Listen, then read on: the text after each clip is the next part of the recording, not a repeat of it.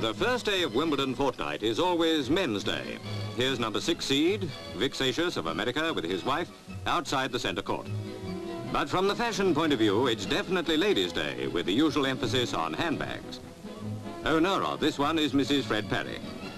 Not everyone is thinking about fashions. Lew Hoad, the Australian wizard, has tough battles ahead to retain his singles and doubles titles.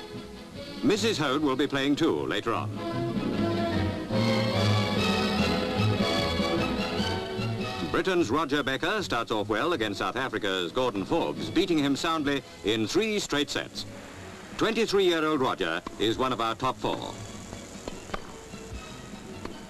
Popular ex-champion Jaroslav Drobny beats Stockenberg of Sweden. A happy spectator is iron lung patient Margaret Dixon, in a place of honour watching Lew Hoad's first match in defence of his title against Pierre Darmon of France. Darmon serving. It's nerve-wracking to meet the champ on the first day. The Frenchman battles gamely, but in vain. Hoad serves for match point, and very soon it's all over. A good start, Lew, but there's a long way to go yet.